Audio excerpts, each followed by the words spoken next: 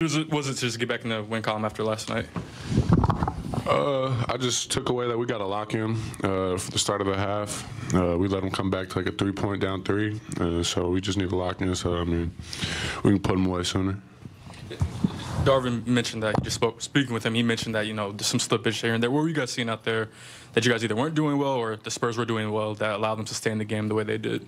They're well coached, so they're gonna they're gonna continue to, to do what they're supposed to do. You know, it's never over against the Spurs. So I think keeping that mentality for 48 minutes allowed us to um, keep the league and continue to fight too when they when they when they claw back. So that's it. Say thank you.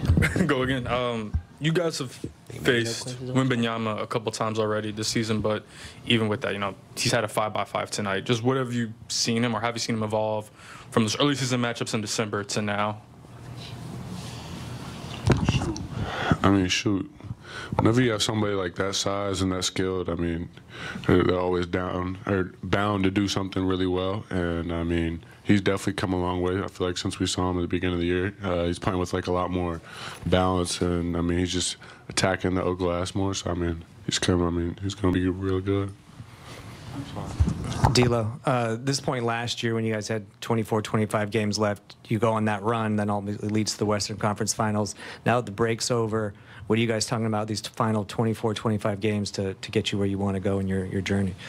Um, I think we never talked about it last year. We just kind of played one game at a time. Um, and we were clicking as well. So for, for us, it made it easy for any individual to kind of, I don't know, capitalize the game. You know, um, I just remember Vando winning games at that time. Rui was winning ga- winning games. Ar, Brian, AD, obviously myself. Everybody brought um, brought their hard hats in and, and, and, felt like they were a part of it. So I think that's where we're at now. A lot of guys are coming back from injury, but as a whole, the guys that are playing, you know, feel like you know we were something's brewing. Sure. You guys have a tough couple of matchups coming up.